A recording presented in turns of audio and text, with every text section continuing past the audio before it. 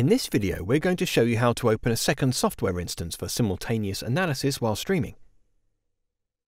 If already connected to a camera and streaming, select the Automation menu at the top of the screen. Click on Auto Start to open the dialog box. Here you can adjust settings for when the ThermoView software is initially launched.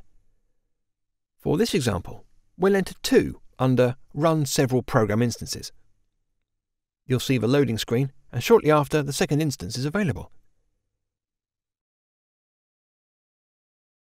Click Open and navigate to where your files are stored. Both still images and sequences can be opened for further analysis.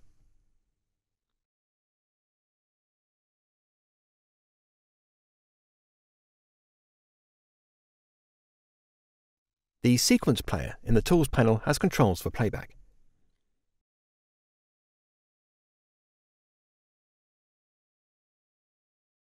In addition to creating new areas of interest, existing analysis objects can be modified.